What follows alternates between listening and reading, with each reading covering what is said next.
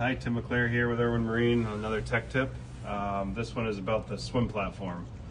And the phone call we get is it doesn't work or my motors won't start. So they're all kind of tied in together. Uh, to start, the ignitions are on right now on this boat. So it will not allow anything to function back there.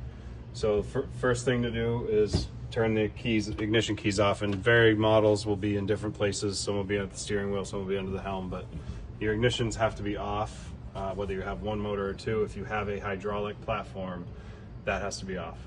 The next thing is there's a power button to turn on. So on this 350 SLX that we're on, that's the button that sends power to the back to allow the switch to work. So here at the stern on this particular 350 SLX, the switches are in this panel. Um, so you've got your engine hatch and your platform.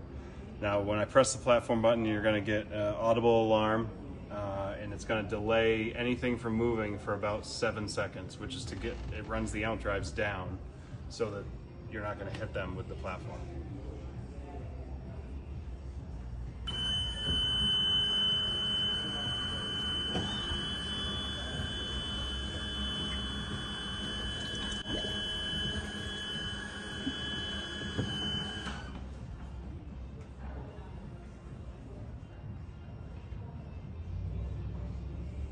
To go back up, there's no delay because it doesn't have to worry about the out drives because it already knows they're down.